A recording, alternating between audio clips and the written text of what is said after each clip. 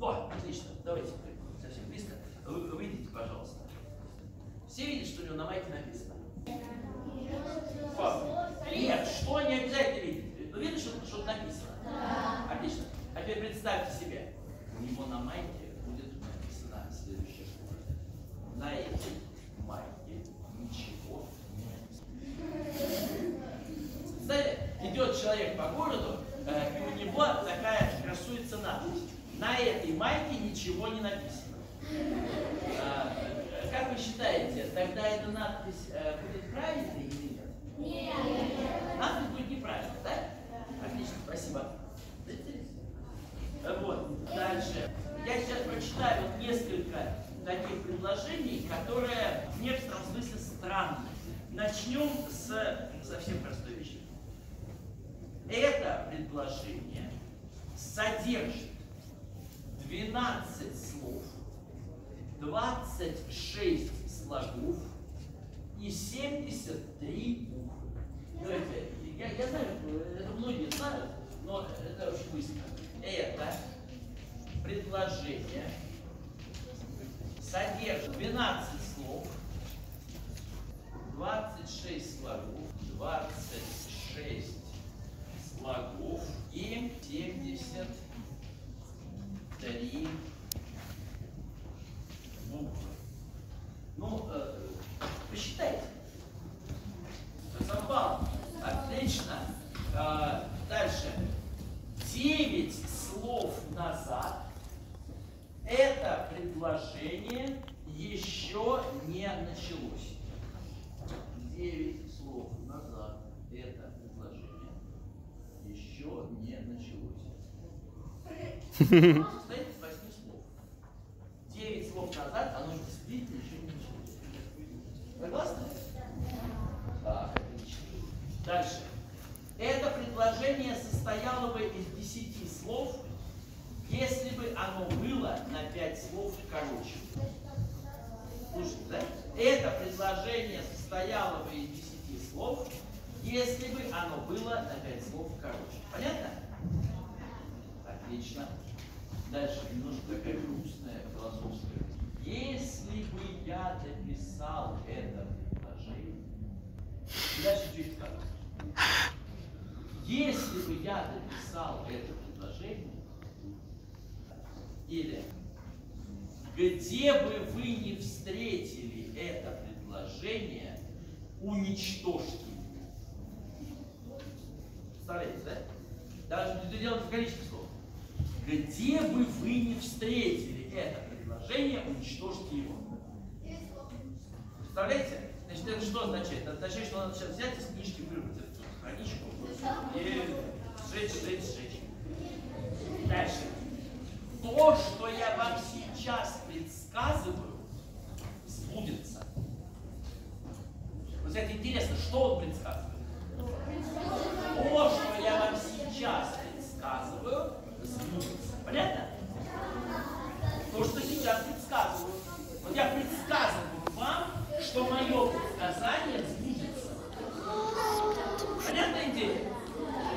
Я, я говорю, что мое предсказание сбудется. Почему все неприятности происходят в самое неподходящее время? Простая вещь. Потому что когда происходит какая-то неприятность, а вы сильный, могучий, прыгучий, то вы их не замечаете. Вот представьте себе, э, идете вы по улице, а там, не знаю, журабана. Вы замечаете, вы ее перейдете, пойдете дальше. А если вы идете чем-то обеспокоенный, вам плохо, то вы не особо замечаете, вы скользнетесь в и боитесь. Э, Неприятности, разумеется, происходят в самое неподходящее время, потому что в подходящее время мы умеем с ними бороться и их рукой. Отлично. Не напоминает ли вам мои слова о Пушкине? Не напоминают ли вам мои слова об Александре Сергеевиче Пушкине? Напоминаю, потому что я про него сказал, да? Вопрос, чем напоминаю? Отлично. Дальше. Представьте себе, что на самой последней странице книги написано следующее. Опечатки. Опечатки. Страница 500.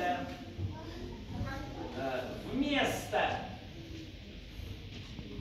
опечатки следует читать. Следует читать. Опечатка.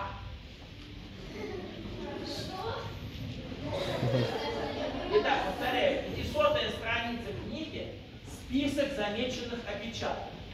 Выглядит следующим образом. Значит, 500 страница. Опечатки. Это список замеченных опечаток. Представляете, 500? Вместо опечатки следует читать опечатка. Конечно, в книге просто вообще не было опечаток. Э, Ладно, э, не из книжки, что называется, э, но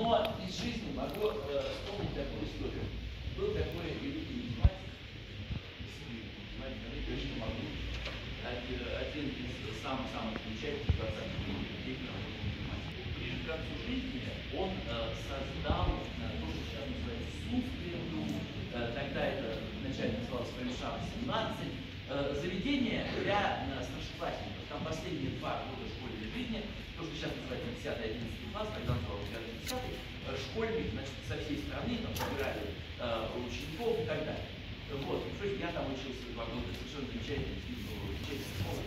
И такой момент Колмогоров решил написать учебное пособие. Ну, потому что понятно, в школе, э, как, куда народ служит, со всей страны самых лучших, конечно, желательно не по, не по общему учебнику для всей страны а по каким-то написанным именно для этой школы учебникам. Отлично, стали писать соответствующий сборник. Э, Тогда э, никаких компьютеров еще не было. Все было трудно, на машинке печатали, формулы вписывали. Но Колмогоров всегда чрезвычайно тщательно относился к работе, по-настоящему тщательно. Э, То есть не то, что он академик, э, а сказать, кто-то там пишет, а он подпишет. Ничего подобного. Сам каждую страницу читал, обсуждал, редактировал, э, сам писал. Вот действительно, свои книги всегда писал сам. да. Э, Вот эта работа шла, шла, шла, добились, что совершенно вот проверили все, никаких опечаток и так далее. И некоторый момент носят вот, напечатали уже результат. Знаете эту историю? Э, вот, ну, замечательно. Приносят Колмогорову книгу, действительно, внутри нет ни одной печатки. Андрей Николаевич поработал, что на себе все такие добились, что нет никаких опечаток. Вот. Но проверили, все внутри ничего нет. Но потом посмотрели на обложку. А на обложке было написано следующее. Ну, там, название книги, там серия приключений для ФРШ 18, выпуск и без буквы «С». Больше опечаток в книжке не было. Вот была одна опечатка на обложке. Разумеется, что этой книгой люди пользовались. Вот, вот была такая замечательная книжка с одной